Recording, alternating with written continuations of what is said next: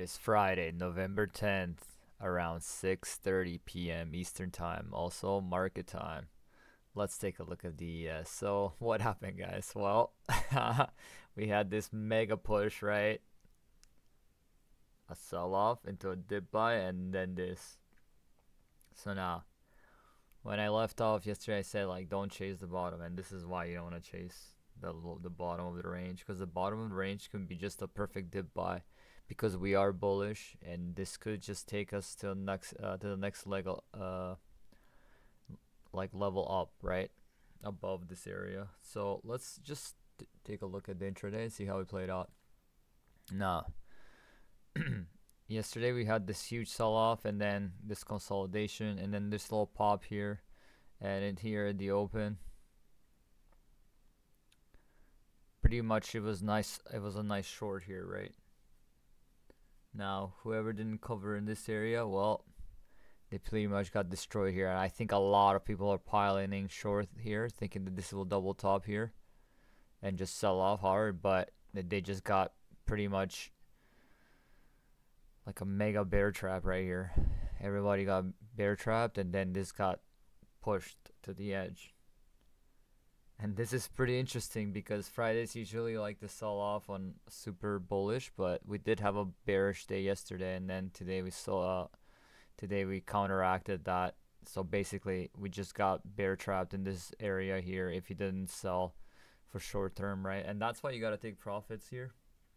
It's a good example. Like if you're short here, if you're short here, and you're not taking profits here, well, you're probably, you know, you're risking seeing something like this. And also if you're shorting here, well, you're risking seeing something like this. So that's why you, you pretty much have to uh, short into, into strength, especially on a setup like this. But right now we're like super bullish and now it just makes me think that a lot of bears got uh, trapped and for that reason we're probably going to push a little bit more before we sell off. But even and with that being said like we're pretty much every single day ready to get sold off hard right? So is that going to be monday? I don't know. It might be tuesday or wednesday something like that. But it could be monday. We don't know we'll see how like the market opens because now there's like a the weekend right? And there's gonna be time for people to uh, pretty much reassess their strategy and uh, yeah.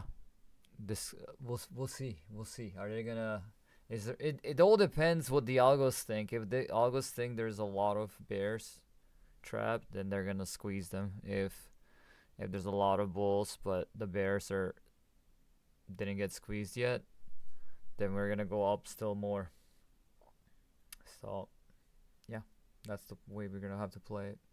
Got to be really careful and just watch, because right now we could get a really nice squeeze, and when that squeeze happens, that's when you short. Yeah, I'm gonna leave it as that. I hope you guys had a good week. Yeah, be safe, and uh, have a good weekend. I'll see you guys on Monday.